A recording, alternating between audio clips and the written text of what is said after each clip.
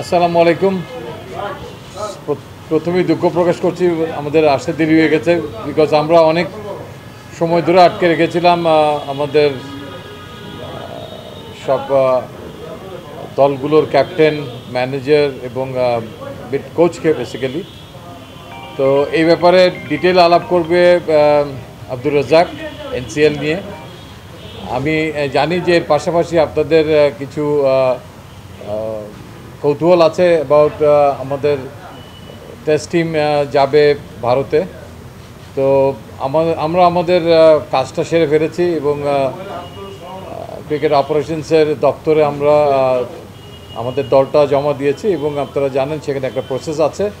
যে প্রক্রিয়ার মাধ্যমে সেটা একটা পর্যায়ে বোর্ড প্রেসিডেন্ট সাহেবের কাছে যাবে দলটা এবং তার অনুমোদনের পরই বেসিক্যালি এটা মিডিয়ার মাধ্যমে অ্যানাউন্স হবে এবং মিডিয়ার মাধ্যমে অ্যানাউন্স হওয়ার পরে আমাদের নির্বাচক মণ্ডলীর তরফ থেকে আমরা কেউ না, একজন হয়তো প্রেস মিট আপনাদের সামনে এই- দল নিয়ে কথা বলব, আপনাদের প্রশ্ন নিব। আর এনসিএল নিয়ে একটা জাস্ট প্রাথমিক কাজ চলছে। আজকে আমরা প্রত্যেকটা দলের সঙ্গে বসে তাদের পাঠানো যে তিরিশ জন খেলোয়াড়ের যে লিস্টটা ছিল, সেখান থেকে আমরা চার দিন এবং টি টোয়েন্টি ফরম্যাটের জন্য পঁচিশ জন করে একটা প্রাথমিক খেলোয়াড় বাছাই করেছি। সেই কাজটাই চলছিল, সেই জন্যই একটু দেরি হয়ে গেছে। তো এটার আদ্যপাদ্য নিয়ে আমার সঙ্গে আমার ন্যাশনাল সিলেক্টর প্যানেলের আব্দুর রাজ্জাক আপনাদের সঙ্গে কথা বলবে এবং আপনাদের যদি কোনো প্রশ্ন থাকে, সে প্রশ্নটা উনি নেবেন। ধন্যবাদ, আমি হ্যান্ড ওভার করছি বেসিক্যালি ন্যাশনাল লিগের জন্য যে প্রাথমিক যে দলটা হয় থার্টি মেম্বার্সের তো সেটা থেকে ক্যাপ্টেন এবং কোচকে ডেকে ওদের সাথে কথা বলে আমাদের ফিটনেস ক্যাম্পের জন্য আমরা ওটা থেকেও আরেকটু রিডিউস করি যে লাইক বিশ পঁচিশ জনের মধ্যে রাখার চেষ্টা করি যাতে করে কোচের সুবিধা হয় প্র্যাকটিসগুলো করাতে। তো ওইটা মেইনলি আজকে হয়েছে। প্রত্যেক, সবগুলো টিমেরই শেষ করলাম এই মাত্র আর কি। তো এই এতটুকু কাজ এ পর্যন্ত হয়েছে। এবং ও ফর ইয়োর ইনফরমেশন এবারকার ন্যাশনাল লিগ আমাদের সিঙ্গেল টায়ার হবে। আগে যেমন টায়ার ওয়ান টায়ার টু ছিল, এবার স্ট্রেট ওয়ে হবে, সবার সাথে সবাই খেলবে আর কি। অদূর ভবিষ্যতে আরও প্ল্যান আছে, হয়তো সেগুলো এক্সিকিউট হবে, তা এটা দিয়ে শুরু করা হচ্ছে। এখনও পর্যন্ত সিঙ্গেল লিগ যেহেতু আমাদের উইন্ডোগুলো আগে থেকেই সেট করা রয়েছে, তো ম্যাচ ইচ্ছা করলেই বাড়ানো সম্ভব হচ্ছে না। জাস্ট বিকজ অফ দ্য মানে টাইম আর আমাদের বৃষ্টির কারণে যদি আগে দুই, এক মাস আগে শুরু করা যেত হয়তো বা সম্ভব ছিল। তো তারপর এটারও প্ল্যান আছে আমাদের। আমরা চেষ্টা করব টাইম বের করার আর কি। লাস্ট ফিফটিন ইয়ার্স আমি ন্যাশনাল টিম থেকে বাদ পড়ার পর আমি ছয় বছর একটানা রেগুলার খেলেছি। আমার কাছে মনে হয়েছে বাংলাদেশের বেস্ট টুর্নামেন্ট হয় এনসিএল এই কথাটা কথায় কথায় উঠে এসছে। বিকজ আপনি খেয়াল করলে দেখবেন এইট্টি পার্সেন্ট ম্যাচের এখানে রেজাল্ট হয়। এনসিএলের আমি জানি না, আমি আপনাদেরকে ইনকারেজ করব, আপনারা যদি একটু আসেন মাঠে, দেখবেন, খেলা দেখলে ভালোও লাগবে, আর এইটা থেকে বের হয়ে আসতে পারবেন। এখন আমি যেহেতু বলছি, তো আমার তরফ থেকে বলা হচ্ছে, আপনারা দেখলে, সবাই দেখলে, জিনিসটা আমার কাছে মনে আরও ক্লিয়ার হয়ে যাবে।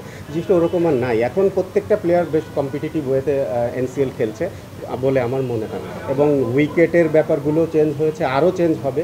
স্পেসিফিকভাবে যদি কিছু দরকার হয়, সেগুলোরও চেষ্টা করা হবে আর কি। এগুলো এখন ইমপ্রুভ করার জায়গা। ফার্স্ট অফ অল যারা টেস্ট টিমে থাকে টেস্ট খেলে, তাদের জন্য টাইম ম্যানেজ করা একটা ডিফিকাল্ট ব্যাপার হয়। আর আরেকটা আছে যে লোড ম্যানেজমেন্টের ব্যাপার আছে, যেটা মেডিকেল টোটালি লুক আফটার করে। তো এটা একটা বড় কারণ। আর আমরা অলওয়েজ এনকারেজ করি, যখন যারা ফ্রি থাকে, তারা যেন আসে, খেললে টুর্নামেন্টটা আরও নাম হবে আরও ভালো হবে, বড় হবে। তো এখনও পর্যন্ত যে খুব যে আহামরি হয়েছে, দুই চারজন হয়তো হয়েছে, তারপরেও সেটা দেখা গেছে যে মেডিকেলের কারণ মেডিকেল থেকে তাদের লোড ম্যানেজমেন্ট নিয়ে কথা বলেছে, যে কারণে হয়েছে এইটা আসলে মার্কেটিং বিভাগের ব্যাপার। ওনারা ভালো বলতে পারবে কি হলে সুবিধা হয়, কি হলে।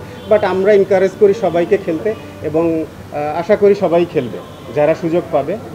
আর আরও একটা আছে, এবার আমাদের তো নতুন এনসিএলে কিন্তু টি টোয়েন্টি ইনক্লুড করা হয়েছে।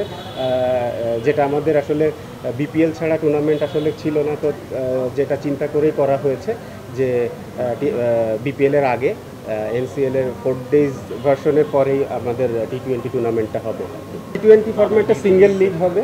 এখনও পর্যন্ত সোফার মানে ওরা যত, যতদূর রেডি হয়েছে, এই ন্যাশনাল লিগের চার দিনের ম্যাচটাও যেমন হচ্ছে, ঠিক একই ফরম্যাটে হবে। শুধু ওটা টি টোয়েন্টি হবে, এটা ফোর ডেজ এটা ইটসেলফ আলাদা একটা টুর্নামেন্ট এটা আমাদের ন্যাশনাল টিমের কথা চিন্তা করে যাতে করে আরও বেশি টি টোয়েন্টি প্লেয়ার তৈরি হতে পারে, বের হতে পারে, খেলাটার সিস্টেম জানতে পারে, এই জন্য করা। এটা হচ্ছে চেষ্টা করা হবে যে যেসব প্লেয়াররা এরকম আছে বেশি প্লেয়ার আছে যে ডিভিশনের যে সেক্টরে ওইটা নিয়ে অন্য জায়গাতে দিয়ে অন্য জায়গা থেকে যদি আপনার কোনো কিছু দরকার হয় সিলেটের তো তখন সিলেটে দেওয়া হবে। আবার সিলেট থেকে ফাস্ট বোলার নিয়ে যদি মনে হয় খুলনার দরকার বা রাজশাহী যাদের দরকার হবে এইভাবেই চেষ্টা করা হচ্ছে আর কি। আহ, এখনও পর্যন্ত যেটা আমি জানি যে আমাদের যতগুলো ভেনুতে ন্যাশনাল লিগ হয়, সবগুলোই করা হয়েছে। তারপরে আমাদের যেহেতু সাউথ আফ্রিকা সিরিজ আছে, টেস্ট সিরিজ, তো ওইটার সময় হয়তো একটু যে ওইটা, ওইটার ডিসাইড হওয়ার পরে ফাইনালি জানা যাবে এনসিএল একটা কী হবে। ব্যারিয়ার ক্রিয়েট করলে আসলে কিছু করার নেই বিকজ যেহেতু আপনার যদি এরকম হয় যে ঢাকা টিমে সব প্লেয়ার আছে এবং ইভেন বেশি আছে যারা বসে আছে অন্য টিমে এই ঢাকা টিমে বসে আছে অন্য টিমে তারা মেইন প্লেয়ার হতে পারে। তো আমরা চেষ্টা করি ওই প্লেয়ারগুলোকে নিয়ে ওই টিমে দিতে সো দ্যাট আমাদের ভালো প্লেয়ার যেন কোনোভাবে বসে না থাকে। সবাইকে নিয়েই বসা হয় জিনিসটা। কোচ ক্যাপ্টেন ম্যানেজার না ভাইস ক্যাপ্টেন তো সবাইকে নিয়েই বসে তারপর টিম করা হয়। Okay thank you thank you thank you